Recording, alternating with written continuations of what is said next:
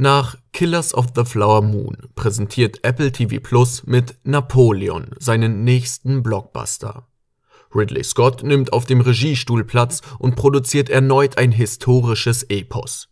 Gelingt ihm mit Joaquin Phoenix als Napoleon Bonaparte ein würdiges Biopic?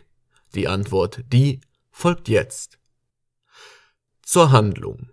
Am 16. Oktober 1793, mitten in der Französischen Revolution, wird Marie Antoinette öffentlich hingerichtet. Für Frankreich stehen zahlreiche Veränderungen bevor. Der korsische Artilleriekommandant Napoleon Bonaparte, gespielt von Joaquin Phoenix, erkennt die Gelegenheit, in der neuen Französischen Republik nach der Machtspitze zu streben. Mit der Wiedereroberung von Toulon im Jahr 1793 und der Niederschlagung eines royalistischen Aufstandes im Jahr 1795 gelingt dem taktisch versierten Napoleon der Aufstieg, zuerst zum General und schließlich zum Anführer seiner eigenen Armee. Mit dieser Armee marschiert er in Italien und Ägypten ein.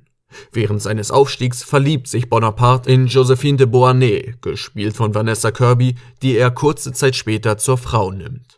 Nach einem Staatsstreich wird er einer der drei Konsuln. Um mehr Respekt gegenüber anderen Staatsoberhäuptern zu erlangen, lässt er sich 1804 zum Kaiser krönen. Von diesem Zeitpunkt an wächst sein Streben nach mehr Macht und der ultimativen Kontrolle über Europa, was jedoch seinen Tribut fordert. Es wird sicherlich einige Menschen überraschen zu erfahren, dass die Kinogeschichte über Napoleon Bonaparte nur spärlich in seiner vollen Gänze beleuchtet wurde. Abel Gance inszenierte 1927 mit seinem wohl berühmtesten und von Filmliebhabern respektierten Werk über Napoleon, das 330 Minuten dauert, nur die Ausbildungsjahre auf der Kadettenschule bis zum Italienfeldzug 1796 und 97. In den 1950er Jahren unternahm die französische Kinolandschaft den Versuch, ein dreistündiges Werk in der deutschen Fassung übrigens nur 105 Minuten, zu schaffen, das zwar das größte Aufgebot im zeitgenössischen französischen Kino war, aber bei der Kritik scheiterte. Ansonsten drehten sich Filme oft um besondere Ereignisse aus Napoleons Leben.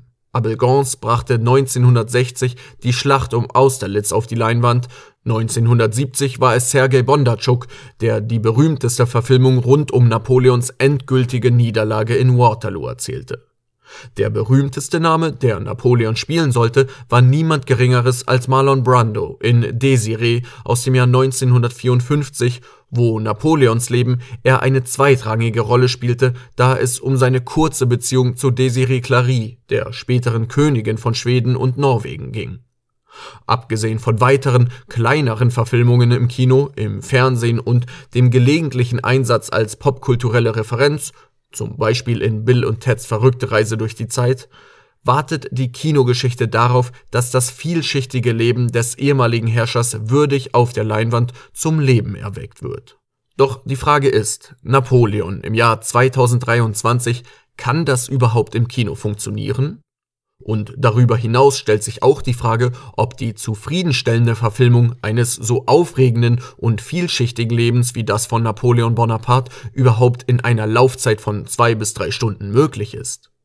Die bisherigen Versuche scheinen dem nicht gerecht zu werden.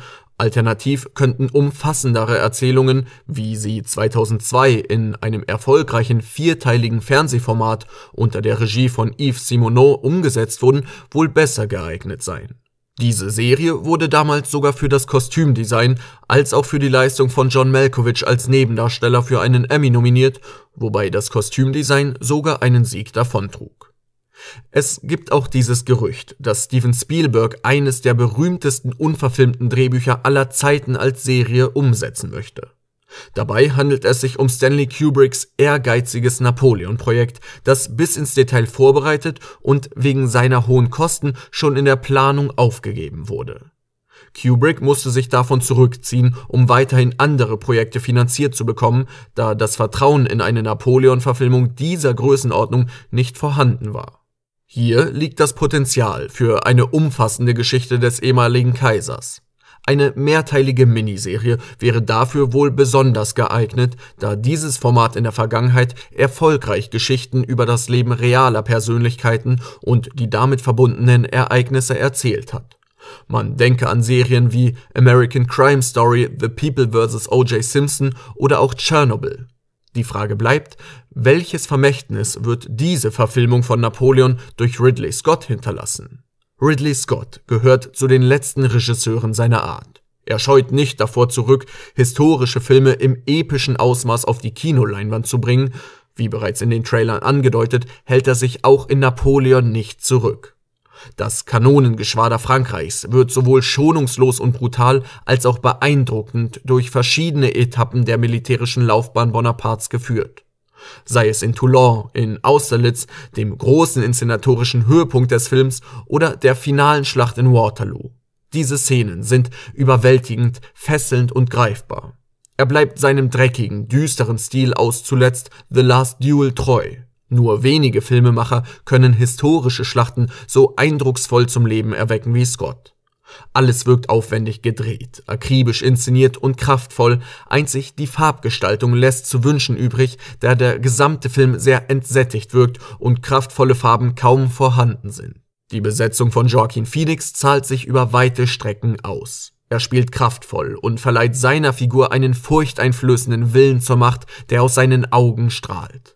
Allerdings wirkt er nur selten charismatisch und an einigen Stellen kommt der große Anführer nicht so deutlich durch, was es manchmal schwer macht, die uneingeschränkte Loyalität seiner Gefolgsleute zu glauben.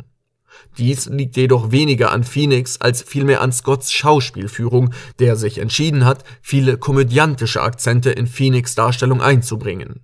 Ähnlich wie in Scotts vorherigem Werk House of Gucci amüsiert er sich erneut über mächtige Personen und macht Witze über den Sexualtrieb oder kindliches Verhalten in dessen Ehe. Dadurch leidet an einigen Stellen die Glaubwürdigkeit, eine ausgewogenere Herangehensweise hätte hier mehr Überzeugungskraft bewirkt. Josephine, gespielt von Vanessa Kirby, ist die zweite Hauptrolle. Im Vorfeld war die Neugier groß, wie viel Raum ihre Figur im Film einnehmen würde, in der Hoffnung, die Ereignisse auch durch ihre Augen zu erleben.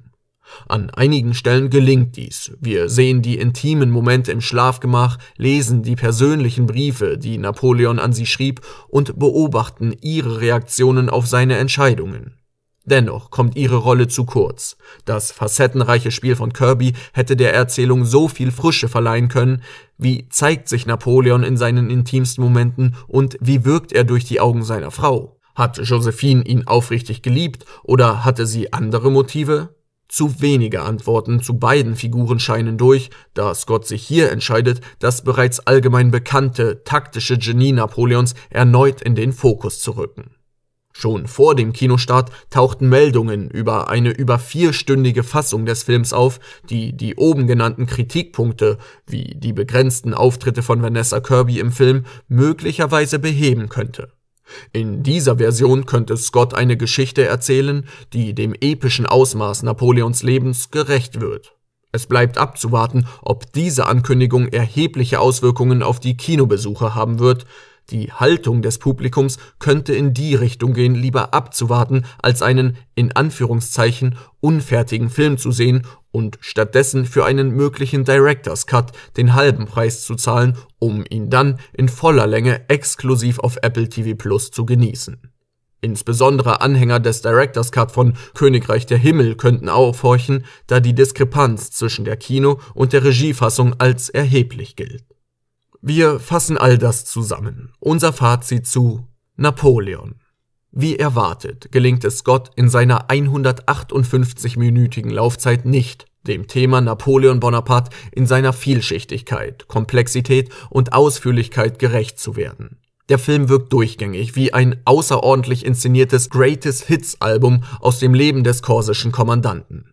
Vieles aus seinem Privatleben kommt zu kurz, die jungen Jahre werden nahezu gänzlich übersprungen, die Familie wird nur beiläufig erwähnt und seine Ehe mit Josephine entfacht zu selten die Kraft einer neuen, spannenderen Perspektive. Auch leidet Joaquin Phoenix Performance unter einer Regie, die zwischen Ernsthaftigkeit und Klamauk balanciert, auch weil sich wenig Mühe gemacht wird, wirkliche Unterschiede zwischen dem jungen und dem alten Napoleon darzustellen. Eine Anmerkung, Joaquin Phoenix spielt einen 21-jährigen Napoleon zu Beginn und verändert über die Jahre kaum sein Äußeres. Was am Ende hängen bleibt, ist die Inszenierung. Die Schlachten sind fantastisch, bleiben am meisten im Gedächtnis und rechtfertigen einen Besuch im Lichtspielhaus. Gerade der Kanonenhagel von Austerlitz stellt eine der besten Sequenzen des laufenden Kinojahres dar. Napoleon erscheint am 23. November 2023 exklusiv in den Kinos, bevor er anschließend bei Apple TV Plus im Streaming-Abo zu sehen ist. Wir vergeben drei von fünf Toastscheiben.